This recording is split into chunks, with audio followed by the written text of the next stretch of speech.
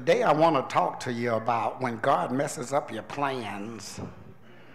And I think you probably can all identify with that. Let us pray. God, we thank you for this day, this time. And we just thank you for a message that, that you send us in so many different ways that just come alive in our life.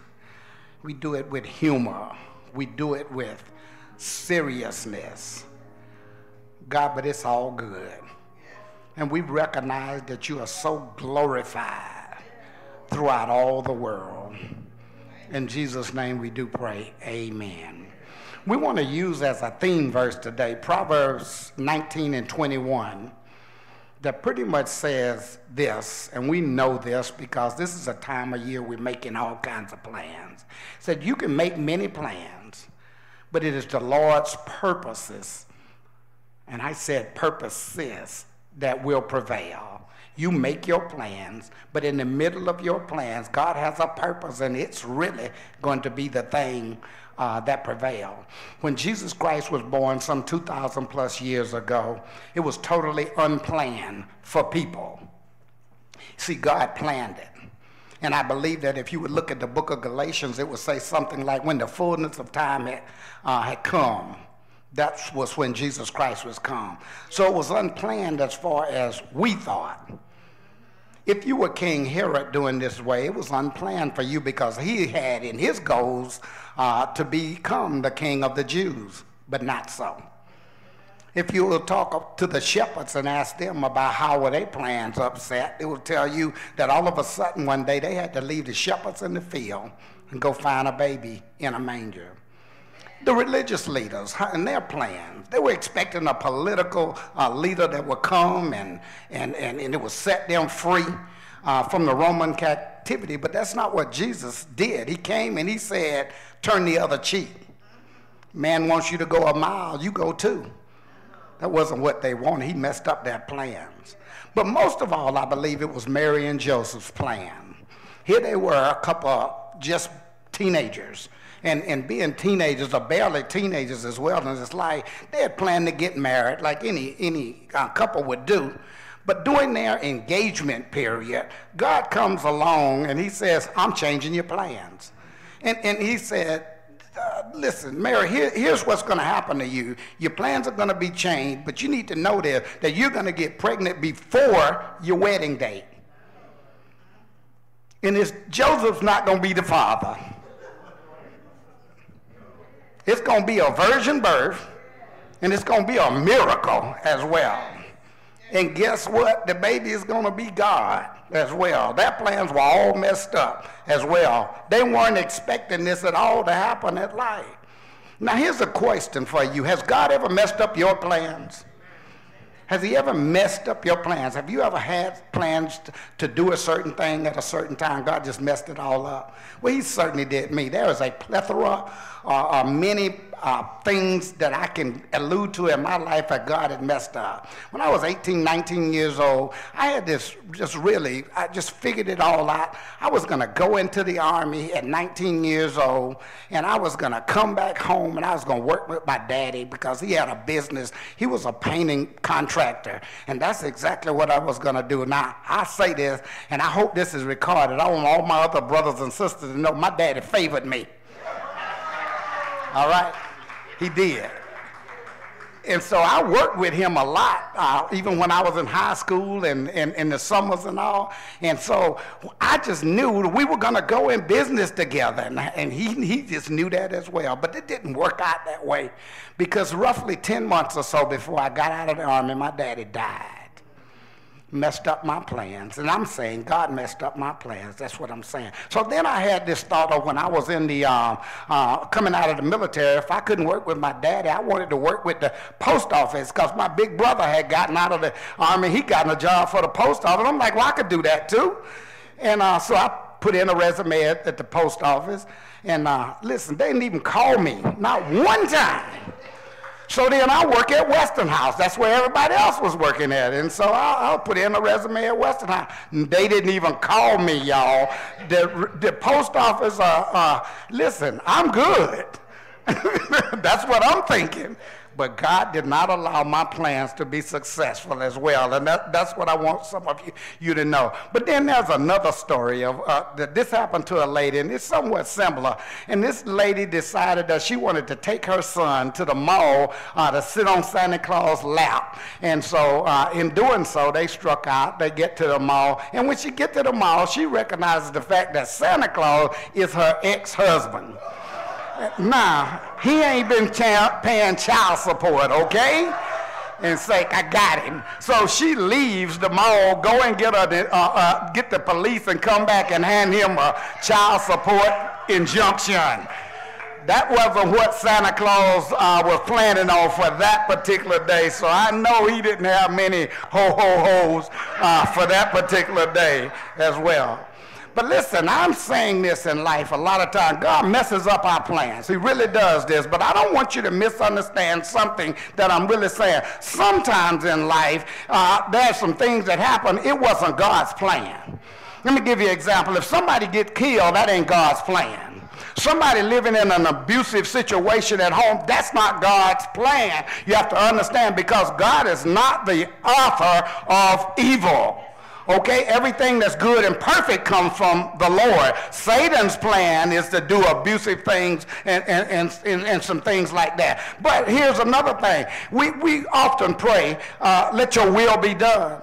But you know, sometimes his, his plans are not done in our will because we choose not to abide by the will of God.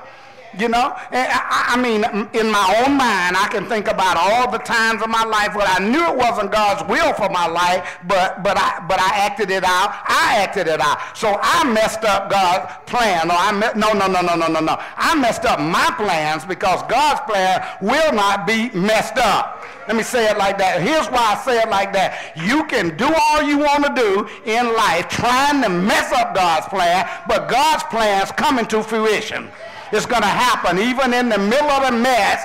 Uh, is that, that's why we can say in God's word, all things work together for good. Because the God that we serve take bad things and make good stuff out of them as well. We got to understand this. So when God messes up your plan, or when things happen in your life, or whatever, I, I just want to give you three little things that you need to think about when your plans uh, do not work out like you want them. First of all, it's simply this God may be just trying to get your attention in Mary's and Joseph's case, I, I, think it was a fantastic situation, quite un, un, unbelievable. It's a one of a kind historical event that was taking place uh, in their life. And so what, how did God deal with this? He sent an angel according to the little video there. Mary, you're going to be pregnant. and I know Mary was sitting there saying, "Ah, I can't be pregnant," really. But but but anyway, he was saying, "You're going to be pregnant, and Jesus Christ is going to come, uh, and He's going to be in human form here on the earth. We're going to split history into AD and BC as well." Now, let me just say this: they heard from an angel, but you and I, we don't need to hear from an angel because God is giving us good impressions and bad impressions at all times to let us know what to do. You know, when, when, when you get a bad impression, typically it would come from the devil. And you know what that's called? That's called temptation. But all the good things that you do in life, all the good impressions that you get in life, more often than not, they have come from God and they are an inspiration uh, to you as well in your life. But here is the problem that when God is trying to talk to us, most of the time we don't listen. We have what is typically called, I think, in the medical field, ADD. Now, that's uh, the attention deficit dysfunction. And, and, and, so we, God is talking, but we are not hearing.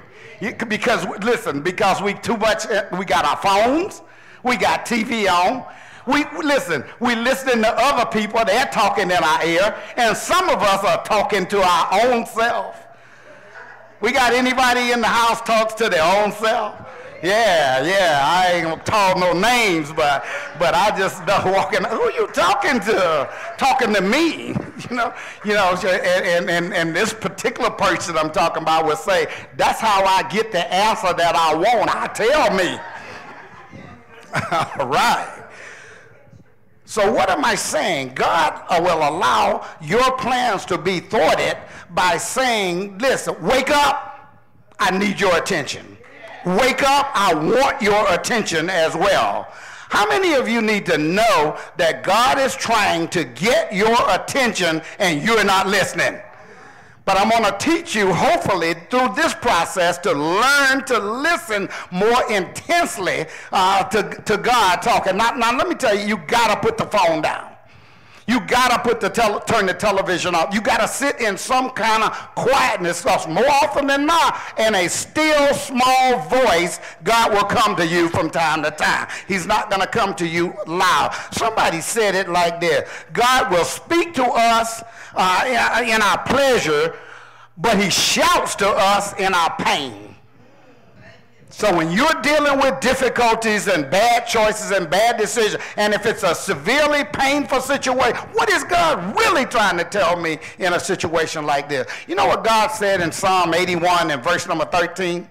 He says this, and I just look, I look at this verse and I just like, I thought, God, he said, I just wish my people would listen to me.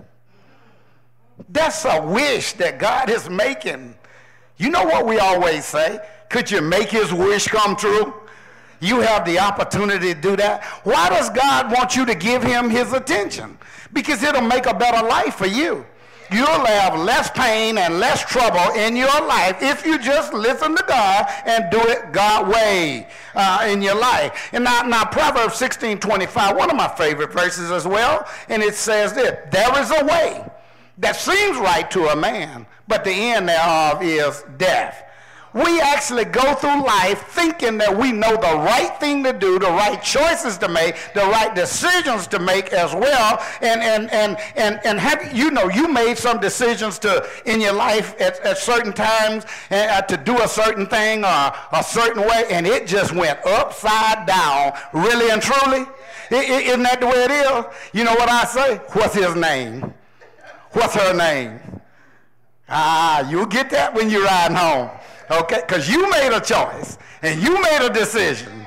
God didn't pick him for you as he did Joseph or Mary, if you'll understand uh, as well in your life. You know why God wants to, wants to give us insight on the choices that we make in life? It's because, first of all, you can't see the future.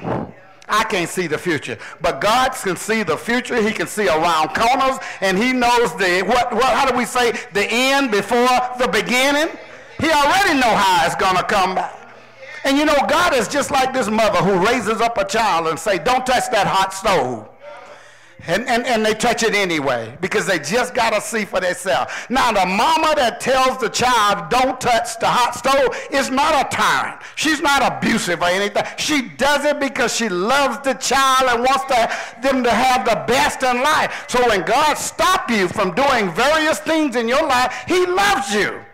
And he wants the very best for you in your life. And you got to understand that God is not trying to deny you uh, of any good thing as well. You know why? Because here's the second thing that when God messes up your plan, you got to recognize this. God is saying, I got a better plan. Oh, it was a better plan for me to go through the DSM dislike and when I come out of the DSM dislike, it was so bad, I just like forced me. Like I need some Bible in my life. So now it just pushed me on into Bible college. It pushed me on into ministry. It, I hated shift work, but after I did all that, it was like I recognized God had a better plan for me in my life. Now listen, that there, Mary and Joseph, God, God, God, they, they, they got a plan for their life. And I know their life was like this as, as any two people that would get married. They want to get married and, and they're going to have a couple little kids. They're a boy and a girl. You know, in that, in that, stop right there. We get us a boy and a girl. Maybe, you know, if we get two boys, then we maybe try to get another girl or something. You know how that goes. That's their plans. They make. But, but God said, that's just going to benefit you. I'm going to allow you to do something that the whole world can benefit. Listen, many of you started out on a plot or a journey or had a plan in your life that would have just been sufficient for you. But God stopped you because He wanted you to do something that would be far more impactful uh, in your life. Many of us, when we went to uh, uh, uh into uh, you know uh, being a believer or, so in our life, we thought that oh, this is just going to be so boring. I'm not going to have any fun or whatever. You got to do like the world do to have fun. I'm telling you, when you get your mind fixed on ministry, you ain't never going to have, have, have had a better time in your life. I guarantee you this. Listen to what I got to say. You look at the people who are in this congregation who participate in the service, haven't done any little thing whatever it was, I don't care if it was put up with the pastor at night going over the programs and, and things like that. You leave this service feeling much better in life because you have done something that didn't just affect you. It affected a lot of people. You got to understand that in your life. Listen, you want to have joy, spend joy in life, do something for somebody else who really cannot do anything for you in your life. You know why? You know why God has a better plan? Because God's plan for you is, is, is a bigger than your little plan. You got a little plan, God's got a bigger plan. It'll affect far more than you in your life, and you got to understand that. But you know what else? This is maybe this is not good news, but God's plan is typically harder for you in your life than your plan. You, listen, if it's going too easy and if it's too smooth and it's too good, is that God's plan? No, because God puts you in a place to where it's going to be far more difficult for you in your life. He let Mary, she could have had a baby, stayed at home. She had mama, grandmama, Joseph, mama, and grandmama, and they all would have been there that day when she had the baby. But no, God tells us she's pregnant and they're going to have to go to Bethlehem and have that baby. She, at, at, at a time when it's almost time for her to deliver, got to get on a donkey and ride to Bethlehem. Mary, my plan is harder than your plan. But when you finish with my plan, it'll give you what is necessary in life. It'll give you significance in your life. You got to understand. You must understand this. God is not interested in your comfort in life. He is more interested in your character. You can't take your comfort to heaven you take your character to heaven as well in your life. If you didn't have problems and, and, and disruptions and distractions in your life, you would be a spoiled brat. Oh, you've seen kids like that who got everything that they really wanted through their life, and they're so they're so they're uh, uh, just so selfish, abusive in the things that they do. Oh, God's not interested in that easy life. It's this hard life that made you wake up one day and say, I need Christ in my life. Because the way I'm living is not the way I ought to be living. It's got to be a better way than, than this as well in my life. And, and, and we know that. But here's something else God's plan is more rewarding in life. It's worth way more in your life. Listen, in second, uh, 1 Corinthians 2, verse number 9, for it says this No eye has seen, no ears heard, or no mind, listen, no mind has imagined what God has prepared for you who love you. You can't even figure it out. So, what am I asking you to do? I'm asking you to just commit to God. He'll figure the rest of it out. As our Sunday school teacher would say, he let a little old shepherd boy go up before a, a big old eight, nine foot giant and take him down and then make him king of Israel as well. He could not have even imagined that. He just committed to God to do what it is God had asked him to do. He ended up with a life that we call significant and satisfaction because he did. And then when, the act, when Luke writes the book of Acts, he writes this ver- verse. He says something like, and David served his generation. Because that's what David did. And you know what I say when I get right there? David served his generation. David can't serve our generation. You think David could serve the, the, the, the, the 300 and whatever channel TVs, telephone, cell phone? You think David could handle this generation? So who's going to handle this generation? You're going to handle this generation. I'm going to handle this generation. And that's how we're going to get our significance as well uh, as life. You know what God really wants for us in life? He just wants you to to know him. know about him, know Jesus Christ in his life. That's what you got to understand. You got to understand that. But you know what else he wants? He wants you to fulfill the purposes that he has for you in his life. That's what God wants for you in your life. He listen. Uh, you, God has something. We, we, we all come to this world, and, and, and, and there's a godly purpose for us in our life. Oh, I know when you come up at a certain time, you start thinking things like, I know what I want to do. I want to do this. I want this degree. I want this uh, field. I, I, I want to do this. Uh, and all these things. You come up with all that stuff. But listen, God's got a plan for you as well. And you got to understand that. And God is wanting you to trust Him as well. And that's the last point that we want to make as well. When God messes up your plan, you know what He's saying? You got to learn to trust me. And I look at that sentence right there, and it's one word in there that just jumps off the page at me. It said learn. You know, learn is step by step, a little bit at a time. First grade, second grade, third grade, you learn. That's what you have to do. God wants us to learn to trust Him. Can you imagine how Joseph uh, responded when God tells him that, uh, uh, you, know, you know, Mary, he's trying to go behind Mary, and he's, he's like, Mary has said, I'm pregnant at this time. He knows all about this and all. And do, you, do you realize that, first of all, she had to trust God in faith in order to move to that place?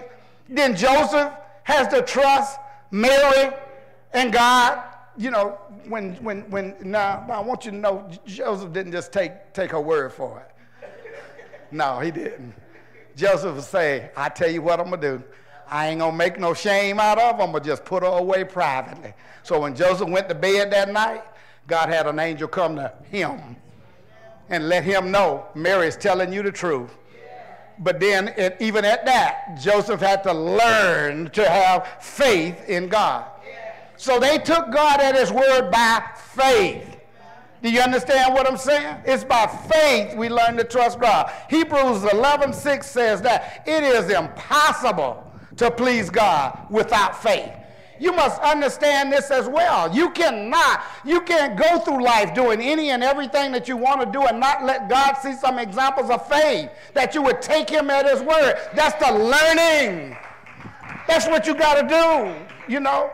I, know this being Christmas time, and you know, a lot of people, you know, maybe, you know, a lot of people, depressions and things like that really take place at Christmas time, and they take place to people who have little faith. You know, uh, uh, a lot of times, uh, you know, people look at the year right at about now, year 2023. it was a pretty tough year for them as well. Sometimes it tells, uh, uh, we, we understand through studies is that the loneliest times of the year is Christmas time as well. And, and, and also, the most stressful time uh, is Christmas. It's Christmas time of the year because you're trying to figure out how to charge all that stuff and make Christmas about material things. You trying to do like the little kids in the video. We got to get, get the baby some Jordans. Jesus don't need no Jordans. Your child don't either. Okay? You got to understand that. Listen, that listen, maybe, I don't know, maybe you think back to a divorce that you had during the year, if, if that's your story. Maybe you lost a, a, a, loved one or somebody you really cared about uh, during the year. And you get right here Christmas time and you start to think about that as well. But listen, all the, the things that sends you into a depression during this season, there's a couple things that you can know for sure. First of all, um, God has a personal plan for you in your life. You got to understand, He has a personal plan. Listen, God may not call you to preach, you know, He may not call you to sing in the choir, but He's got a plan for you. Yesterday, while we were at a man named Jesus, when it was all over, the, the, the, actors come outside and they talk to us, and this guy walked up on us, and I looked at him and I say, You're Jesus. Now, he was just dressed in a t shirt and a pair of pants. But I recognized him from the character of Jesus on the inside. So then he told me his story. He said that this play had been at another church and while it was there at that church, the people decided they, did, they wasn't going to do it anymore. And he and his wife said, We can take that over. Another couple came alongside them as well. And they, the, the church told them if you can get a 501c3, we'll give you everything that it takes to put this play on. They were probably thinking that to get a 501c3 would take them a year or more. He said, We walked in, applied for a 501c3, we got it in three days. He said, And we're here, and we've been together all this time. And I walked away thinking to myself, See how good God is. See how God calls people in the ministry to do various things. He ain't calling everybody into a church ministry. I thought about this Friday when we stood at the Garden City Rescue Mission and it was 45 guys down there that don't have a place to live. There was a group of people from Second Providence and a group of people from Pine Grove, and we were in there, and they were eating turkey and dressing as good as you would eat on Christmas Day. And I think about how that ministry got started. It was James Tillman and I. We were coming from the federal prison one day. We were riding down the road. And I had told him that I had been invited to preach at the Garden City Rescue Mission before they had a pulpit. All they had was a little stand like that. And he and I went to the Garden City Rescue Mission and I practiced preached. I wasn't even a licensed preacher at the time. I don't need to tell y'all that was more than 25 years ago, and we still have people. I can't tell y'all the number of people who have come along beside Deacon Tillman and his wife, Flo, Becky, the four people who originally started that ministry. I can't tell you the people who have come and gone. And Becky and I, we looked at each other and said, God, just keep on sending people giving us the supplies, giving us the income to do what it is we do. What I'm telling you is God has a purpose for you in your life. You see, it wasn't a good thing for me to go to USPS. It really wasn't a good thing for me to go to Westinghouse because I might have got sidetracked with the dollars. But instead, he put me in a dark place and gave me a ministry. And now, what I do don't just affect David, it affects a group of people. Stand up with me, if you will. I'm, I'm through.